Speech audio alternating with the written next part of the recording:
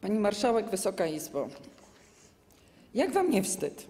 Pogłębiająca się bieda i ubóstwo, inflacja 9,2%, szalejąca drożyzna, wysokie ceny, wzrastające stopy procentowe, gigantyczne podwyżki cen nawozów, spadek dochodowości na wsi, protestujący rolnicy na ulicach. A wy co?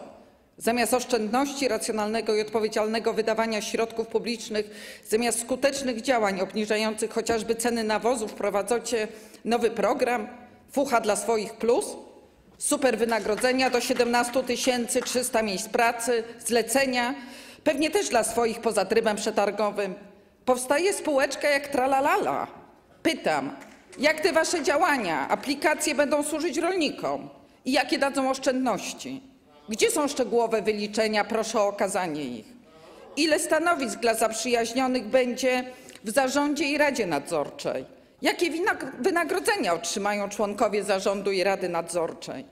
Niestety obawiam się, szanowni rolnicy, że ta spółeczka zamiast pomagać wam, została stworzona pospiesznie, bez konsultacji, po to, Dziękuję, pani aby poseł. zagwarantować PiSowi Pani większość sejmową w Sejmie. poseł, Dziękuję.